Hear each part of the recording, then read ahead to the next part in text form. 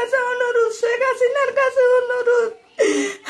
ছেলে যান, আর বুকে হিরে দে। দশ ভাই বন্ধু, ছেলে যান দশ ভাই বন্ধুর বুকে হিরে দে।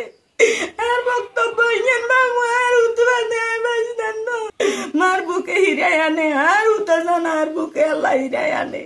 এখন কথাটা লুয়াইছে কয়েছে মা, আর ফোনে এমরি নাই। আইন, পনেরো বিশ দিন কথা কইতে দশ পনেরো দিন। তোমার ওষুধ আপারা তা নাই।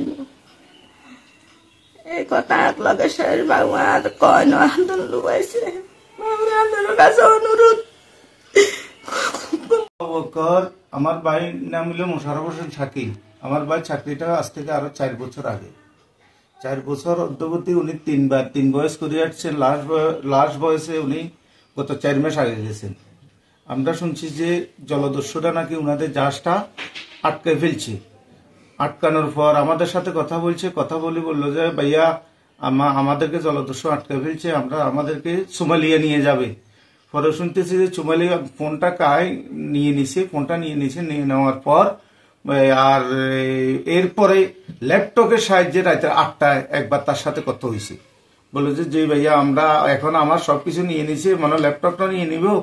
আমাদেরকে আপনি অফিসে যাইয়েন, আমাদের কে এস আরাম অফিসে যা একটু যোগাযোগ করেন এরপর আর কোনো যোগাযোগ হয় নাই। আমার আম্মু অনেক কান্নাকাটি। আপনাদের কাছে অনুরোধ সরকারের কাছে অনুরোধ আপনাদেরই সন্তান কেএসআরএম কোম্পানির কাছে অনুরোধ আপনারা যত দ্রুততম সম্ভব ভাইদেরকে সবাইকে ফেরত দেওয়ার জন্য অনুরোধ জানাচ্ছি। আপনারা যত দ্রুত সময় সম্ভব একটা এয়ার নেন পদক্ষেপ নেন। কোম্পানির লোকদের সাথে কথা হয়েছে। ওনারা ওনারা বলছে আমরা কন্ডিশনে এখনও কোনো কিছুতে যাই নাই।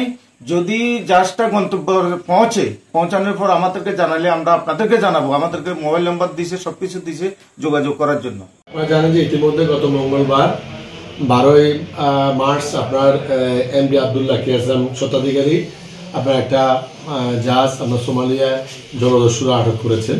তো সেখানে আপনার যে নাবিকেরা বা যে ক্রুরা ছিল এবং যারা ফাইটাররা ছিল, তার মধ্যে আমার এই করার ইউনিয়নের কয়লা পশ্চিম সোনাই ছয় নং ওয়ার্ডের একজন অধিবাসী আদিবাসী নাগরিক আপনার কয়লা আমার ছোট ভাই আপনার ইয়ে, মোশাররফ হোসেন। এবং সে সেখানে আটকা পড়েছে। সে তার প্রথমে ছিল ফাইটার তা আমরা ইতিমধ্যে আমাদের শুনেছি যে আপনার টেলিভিশন এবং বিভিন্ন ইয়েতে আমরা হেডলাইনে হেডলাইনে দেখেছি যে আমাদের প্রাণপ্রিয় প্রধানমন্ত্রী জনতা শেখ হাসিনা এবং পররাষ্ট্রমন্ত্রী আহ, ওনারা আশ্বস্ত করেছেন যে ওনারা যোগাযোগ করছেন যে অতি সত্তর জাহাজটি উদ্ধার করা হবে। তো আমরাও আশা করব আমাদের প্রিয় প্রধানমন্ত্রীর কাছে বর্তমান সরকারের প্রধানমন্ত্রীর কাছে আমরা আমি আমার এই এলাকা থেকে জনপ্রতিনিধি হিসাবে আমি সবাই অনুরোধ করব আমাদের প্রধানমন্ত্রী এবং পররাষ্ট্রমন্ত্রী যাতে সার্বিকভাবে পরিস্থিতি পর্যবেক্ষণ করে যাতে আমাদের এই নাবিকদেরকে অর্থাৎ জাহাজের যারা কর্মকর্তা সহ যারা ফাইটারম্যান যারা ছিলেন অর্থাৎ প্রত্যেকে যাতে সুস্থভাবে যাতে উদ্ধার করা যায়, সে ব্যাপারে আমি সরকারের কাছে জোর পদক্ষেপ জানাচ্ছি এবং যে, আর ওই পরিবারে মোশারফের পরিবারের প্রতি আমি আপনার উদ্যোক্ত আহ্বান করব যাতে আমাদের সরকার যেহেতু সক্রিয় সরকার, যেহেতু আপনারা এটা নিয়ে ইতিমধ্যে কাজ করছেন, টিভির মধ্যেও বারবার বলছেন যে আমরা বিভিন্ন জায়গায় আমরা চ্যানেল মেনটেন করতেছি যে ইতিমধ্যে সেই জাহাজটি সোমালিয়াতে জলদস্যু থেকে উদ্ধার করার জন্য বিভিন্ন প্রক্রিয়া তারা অগ্রসর হচ্ছে।